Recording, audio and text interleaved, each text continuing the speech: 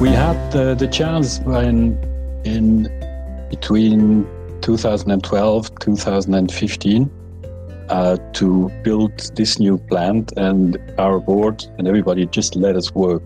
See the boiler here? First pass and part of the second pass are cladded uh, and this is uh, steel 35.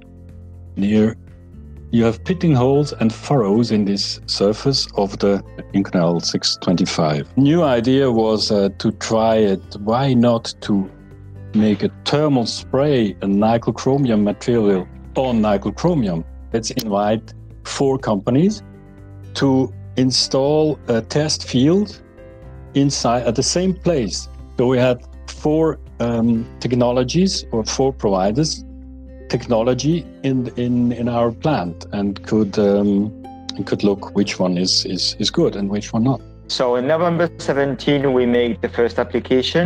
Uh, the next stop was uh, very short.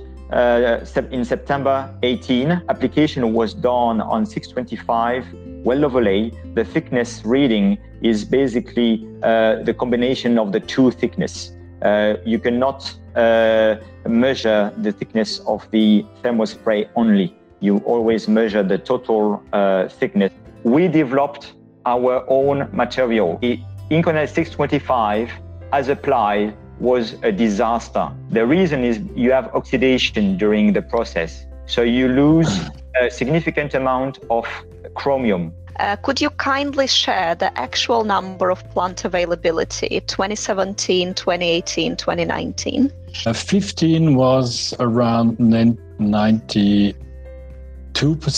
and after that, it was always um, above uh, 97%.